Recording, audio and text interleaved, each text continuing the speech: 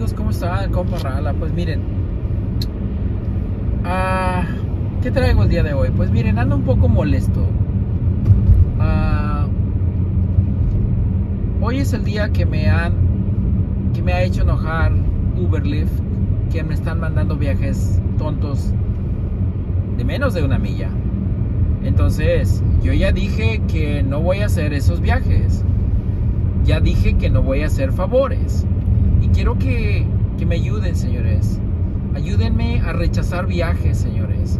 Hay que unirnos, señores.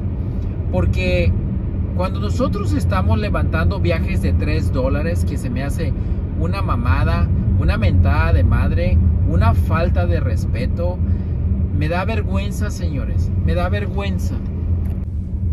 Así como lo oyen, me da vergüenza andarme rentando con un carro, llevando pasajeros que a veces ni te lo agradecen, que te dan el azotón a la puerta, que estás en su domicilio, llegaste y no salieron, llegan, no te saludan, eh, están tarde, están molestos, todo por qué? ¿Por tres dólares? ¿En serio? A mí me daría vergüenza decirle a alguien, hey, ¿me puedes darle un raite a mi esposa, a mi hijo, aquí a una milla? Te voy a dar tres dólares.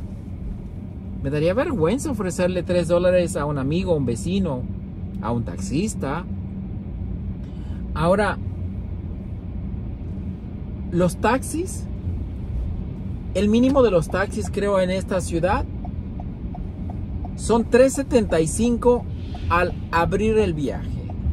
Ellos abren tu viaje, la mínima para ellos son 3.75 y después ya van ganando 75 eh, centavos el minuto y va ganando 3.75 la milla. No más así. Un viaje pequeño aquí en Seattle, un taxista lo realiza por 7, 8, 10, 12 dólares. Un viaje pequeño. Porque hay tráfico. Porque ellos se les paga 75 centavos el minuto. Y nosotros manejamos hasta el cliente y para ganar nosotros 3 dólares 35 en algunas ciudades es menos de 3 dólares la mínima. Nosotros tenemos que esperar al llegar al cliente, esperar al cliente hasta que se ponga los zapatos, se lave la cara. ¿Cuántas veces recibimos mensajes de que estoy en el elevador? Oh, que tú llegaste muy rápido, espérame, ahí voy en dos minutos. Después llega corriendo y lo tenemos que ir a tirar otros 5 o 10 minutos. ¿Por 3 dólares? No hay que hacer esos viajes, señores. A mí ya no me conviene. No veo dinero ahí. Yo no voy a estar regalando mi servicio durante todo el año. Si Uber, Lyft no me pagan un mínimo de 5 o 6 dólares por viaje, yo no les tiro ningún viaje afuera de la ciudad. En la ciudad de Seattle me dan un mínimo de 5.94. Ah, pero en la ciudad, afuera de Seattle, yo puedo ir a levantar viajes todo el día por menos de 3 dólares. ¿En serio? ¿En serio? Pues como no me conviene, pues no lo voy a hacer. Nunca más lo vuelvo a hacer. Págame tres millas para adelante, yo prendo mi camioneta y voy a levantar tu pasajero. ¿Me das media milla? Vaya usted y llévalo. O que se vaya caminando ese pasajero. Porque a mí no me conviene. Yo no veo negocio, no veo plata. Yo no voy a estar eh, depreciando mi camioneta por ese tipo de viajes. Porque no me conviene. ¿Se imaginan? ¿Tres dólares? ¿Dónde está el negocio? Si desglosamos esos tres dólares, unos 50 para yo ir a recoger al pasajero de gratificación, se monta el pasajero hasta que se le dio la gana y me da otro 1.50 para completar el viaje. Son 3 dólares. ¿Quién gana dinero ahí? Es un favor para que yo tengo que sacrificar mi camioneta para que Uber, mi tiempo, mi camioneta, mi esfuerzo, mi energía, para que Uber se lleve con seguro y con sus gastos de operación 5 dólares. ¿Y a mí quién me va a pagar mis gastos de operación?